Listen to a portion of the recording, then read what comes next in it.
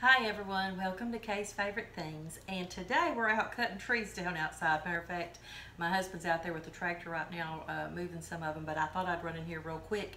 I've got to get this cake baked so that it can cool down. And I've already put it in the mixer and I should have turned the uh, camera on, but I forgot. What's in this is one box of cake mix. And I like the yellow cake mix, but this was all I had. I had white, so that's what I'm using one box of cake mix, a fourth of a cup of oil, I've got vegetable oil, a fourth of a cup of water, and three eggs, and one stick of butter. So we're gonna whip this up and then we'll come back. I'm gonna put it in the pans and I'll show you how I do that. So we'll be back in just a minute. Okay everybody, I'm back and I've got these split between three pans and there's not that much batter in each pan. This batter is very, very thick also. The only other thing you're gonna need for this recipe is some fresh strawberries. I'm gonna cut those up, put a little bit of sugar in them and some heavy whipping cream. And of course in that heavy whipping cream, you wanna add some vanilla and some sugar to it too. So I'm gonna get these baking in a 350 degree oven and we'll see how long it takes and I'll tell you that when we come back. And uh, we'll be back in a little bit. Okay, everybody, we're back. I've got my cake. This one got a little bit browner because it was in a different type of pan, but that's fine. What I like to do is on the bottom, I like to put a little bit of juice and put my cake on it. Just like that. And now we're gonna start putting our whipped cream I whip this, I put a little sugar in it. I always like to make extra because I want to uh, make sure that I have enough. And what you do is you just layer it. And the good thing is it's going to absorb into the cake and it's going to soften that cake and make it delicious. I like to kind of build the edges up on the side so it'll hold those strawberries. And then you put some strawberries and you layer it. It's just like strawberry shortcake.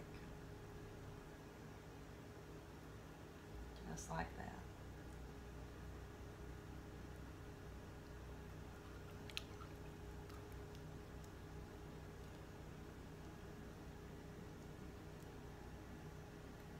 And then you put your next layer.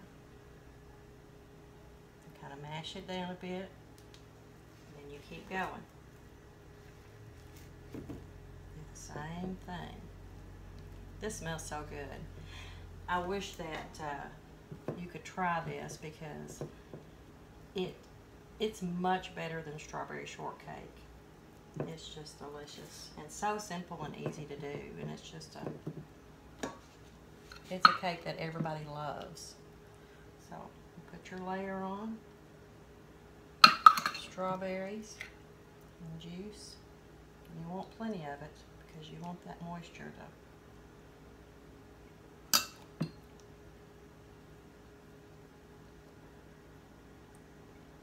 absorb. Then you put your last layer on. You kind of mash it down. See how pretty that's looking? So we'll come back in just a minute after I get this finished up and I'll show you what it looks like. Okay everybody, we're back. I've got it finished. I've got all the whipped cream on it. I've got a lot of strawberries on top and I just drop a lot of juice around it because that juice will absorb into the cake.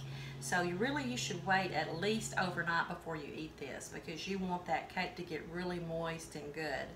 But this is one of the best cakes for summertime. So, and it's simple and easy and people just love it and it's just really beautiful to look at too. So I'm gonna make room in the refrigerator for this and hopefully tomorrow I'll come back whenever we cut it and I'll show you what it looks like after it's been cut. But one time we had a big gathering and we had this and several desserts and we had some of this left and we ate this, I would say it was about six days later and it was just so good. The longer you leave it in the refrigerator, the better it is. So it probably won't last that long, but it's really good, and I hope you enjoy this recipe. Thanks for watching. I'll see you next time. Bye-bye.